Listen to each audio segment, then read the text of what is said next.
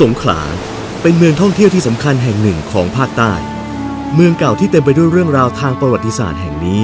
ถูกเรียกขานว่าเป็นเมืองสองทะเล เพราะด้านหนึ่งติดฝั่งทะเลอ่าวไทย และอีกด้านหนึ่งติดหน้าน้ำทะเลสาบสงขลา ในฝั่งของทะเลสาบสงขลานั้น ก็มีแหล่งท่องเที่ยวทางประวัติศาสตร์ และธรรมชาติที่น่าสนใจอยู่หลายแห่ง หนึ่งในนั้นก็คือ ศูนย์ประวัติศาสตร์พลเอกเปรมตินสูรานนท์สงขลา ศูนย์ประวัติศาสตร์พลเอกเปรมตินสูรานนท์สงขลา ตั้งอยู่บริเวณเชิงสะพานตินสูรานนท์เป็นสถานที่ที่ชาวสงขลาร่วมกันจัดสร้างขึ้น เพื่อเชิดชูเกียรติและคุณงามความดี ของพระดาท่านพลเอกเปรมตินสูรานนท์ซึ่งเป็นชาวจังหวัดสงขลา ผู้มีคุณูปการต่อประเทศไทยและแผ่นดินเกิด บนพื้นที่ 150 ไร่ของสวนย์ประวัติศาสตร์แห่งนี้ มีการแบ่งเรื่องราวและสถานที่สำคัญออกเป็น 3 ส่วนด้วยกัน บริเวณส่วนแรก คือหอประวัติศาสตร์พลเอกเปรมตินสูรานนท์ซึ่งเป็นพื้นที่จัดแสดงอัตชีวประวัติ ของพลเอกเปรมตินสูรานนท์ตั้งแต่วัยเยาว์จนกระทั่งได้รับโปรดเกล้าโปรดกระหม่อม แต่งตั้งขึ้นเป็นรัฐบุรุษ และประธานองคมนตรี โดยรูปแบบของนิทรรศการนำเสนอผ่านเทคโนโลยีอันทันสมัย ในส่วนบริเวณโถงทางเข้า จะพบกับประติมากรรมกระจกเหนือกล้าวยิ่งชีวิต สลักภาพพลเอกเปรมตินสูรานนท์กำลังถวายบังคมพระบาทสมเด็จพระเจ้าอยู่หัว สื่อถึงความจงรักภักดี ต่อสถาบันพระมหากษัตริย์อย่างสูงสุด ส่วนบนผนังกระจก บันทึกคำพูดเชิงปรัชญาของพลเอกเปรมตินสูรานนท์ซึ่งเป็นการสะท้อนวิธีคิด และแบบอย่างในการดำเนินชีวิตที่ดีสำหรับส่วนการจัดแสดงนิทรรศการภายในหอประวัติศาสตร์พลเอกเปรมตินสูรานนท์แบ่งย่อยออกเป็นห้องจัดแสดงต่างๆ อาทิ ห้องเพชรแผ่นดิน เป็นห้องชมวิดิทัศน์ที่กล่าวถึงนิยามความดี และคนดีมีคุณค่า ซึ่งเปรียบเสมือนเพชร โดยมีแบบอย่างคือพลเอกเปรมตินสูรานนท์ห้องสงขลาบ้านเกิดนำเสนอประวัติชีวิตในวัยเด็กของพลเอกเปรม และความเป็นอยู่ในครอบครัว ห้องโรงเรียนมหาวชิราวุธ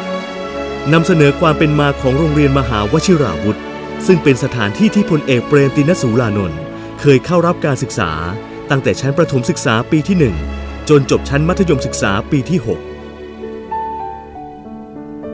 ห้องครูของผมนำเสนอเรื่องของครูเคล้าขชาฉัด ครูคนสำคัญแห่งโรงเรียนมหาวชิราวุธ ซึ่งพลเอกเปรมตินสูรานนท์บันทึกไว้จากความทรงจำห้องโรงเรียนศูนย์กุหลาบ และโรงเรียนนายร้อยพระจุลจอมเกล้านำเสนอเรื่องราวของทั้งสองโรงเรียน ซึ่งมีส่วนเชื่อมโยงถึงการใช้ชีวิตในเมือง ของพลเอกเปรมตินสูรานนท์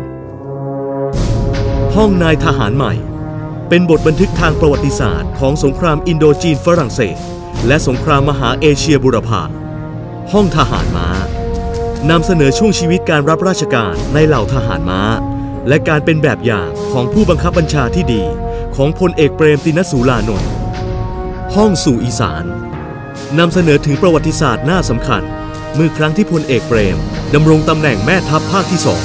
และสามารถแก้ไขความรุนแรงในภาคอีสาน ห้องสู่วังวนการเมืองนำเสนอสถานการณ์การเมืองช่วงพุทธศักราช 2520 ถึงพุทธศักราช 2523 ซึ่งพลเอกเปรมได้เข้าไปเกี่ยวข้องทางการเมือง และดำรงตำแหน่งในรัฐบาล ห้องนายกรัฐมนตรี เป็นบทบันทึกทางประวัติศาสตร์น่าสำคัญ ในช่วงที่พลเอกเปรมตินสูรานนท์ ดำรงตำแหน่งนายกรัฐมนตรีคนที่ 16 ของประเทศ จุดเด่นภายในห้องนี้คือ โต๊ะทำงานจำลองในช่วงที่ดำรงตำแหน่งนายกรัฐมนตรี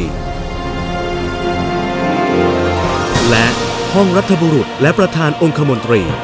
เป็นห้องที่นำเสนอให้เห็นถึงจุดสำคัญของชีวิต ที่พลเอกเปรมตินสูรานนท์ได้รับการโปรดเกล้าโปรดกระหม่อมแต่งตั้งให้เป็นรัฐบุรุษ องคมนตรี และประธานองคมนตรี รวมถึงการได้รับพระราชทาน เครื่องราชอิสริยาภรณ์นพรัตนราชวราภรณ์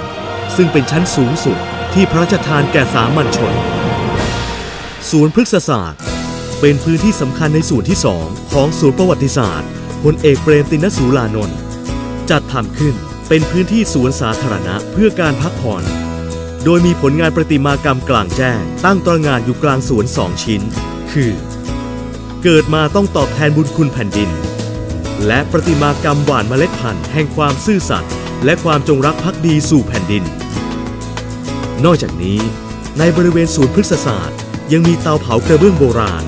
ที่สื่อให้เห็นถึงอาชีพดั้งเดิมของชาวบ้าน ในแถบเกาะยอ และบริเวณใกล้เคียง